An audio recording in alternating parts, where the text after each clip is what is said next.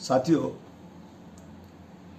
अगर कोई आदमी गलत है, क्राइम कर रहा है, कहीं भी उसकी एक्टिविटी, क्रिमिनल एक्टिविटीज़ में आती है या गलत काम में आती है तो ज़रूर उसके साथ कार्रवाई होना चाहिए।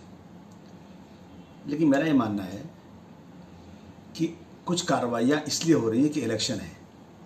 किसी ऐसे आदमी को गिरफ़्तार करना जिसकी कोई गलती ना हो और ज़बरदस्त भी उसके ऊपर एक गुनाह थोप दिया जाए, एक क्राइम थोप दिया जाए और उसकी वजह से पोलराइजेशन किया जाए, मैं समझता हूँ ये बहुत बड़ा पाप है, बहुत बड़ी बहुत बड़ी घिनौनी शादी सही है।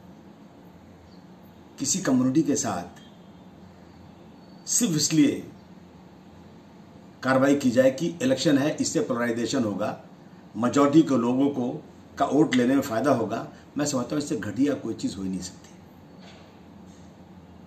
मैं देश के तमाम लोगों से कहना चाहता हूँ, ये देश एक गंगा जमनी तहजीब का देश है।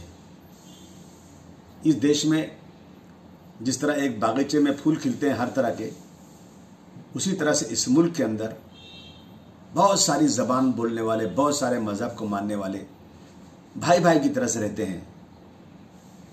लेकिन जब इलेक्शन आए तो सिर्फ़ पोलराइज करने के लिए किसी कम्युनिटी को परेशान किया जाए।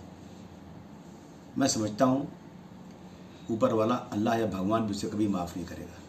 चंद दिनों की ज़िंदगी में सिर्फ़ वोट लेने के लिए, सत्ता में बैठने के लिए किसी इंसान की ज़िंदगी बर्बाद कर देना और किसी कौम को दूसरे लोगों के सामने ऐसा पेश कर देना कि इनसे बड़ा ख़राब, इनसे बड़ा आतंकवादी, इनसे बड़ा देशद्रोह कोई आई नहीं है।